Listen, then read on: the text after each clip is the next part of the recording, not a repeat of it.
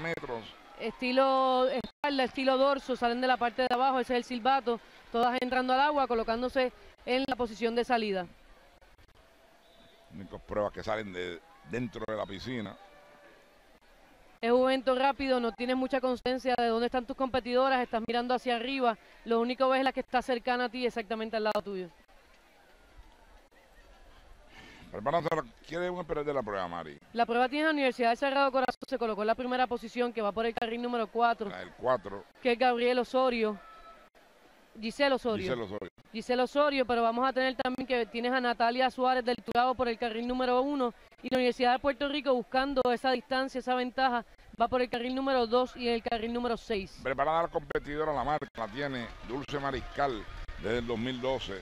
La marca no debe ser lo que estemos buscando, vemos a la salida del carril número 6 Seis, con el corrito rojo, debe ser la Universidad del Sagrado Corazón, es el carril número 7, Siete, la del 7. ese es Katy Figueroa.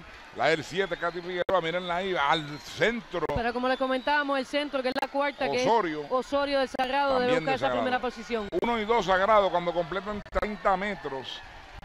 Acercándose a la meta. No hay discusión. Resiste la lucha para el segundo. También 1 y 2 para Sagrado Corazón. Creo que en la tercera posición se colocó muy bien la Universidad de Puerto Rico con Zulianet Cordero. Vamos a ver los Esa resultados es la joven del carril número 2. del carril número 2. Bastante reñida y la distancia que había entre ambos carriles era bastante. Mira la repetición de la prueba. Técnicamente, ¿cómo la viste, Mari?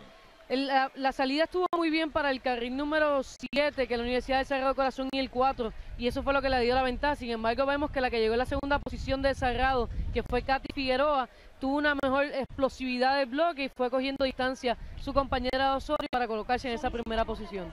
La del 7 arrancó al frente y solamente la cedió a su compañera. Ahí vemos esa primera posición, no hay lugar a dudas. La segunda, vemos la tercera posición que fue la reñida, como el carril número 2 de la Universidad de Puerto Rico. Esa misma, Mari. Tocó por la parte de abajo. Zulianet Cordero de la Yupi.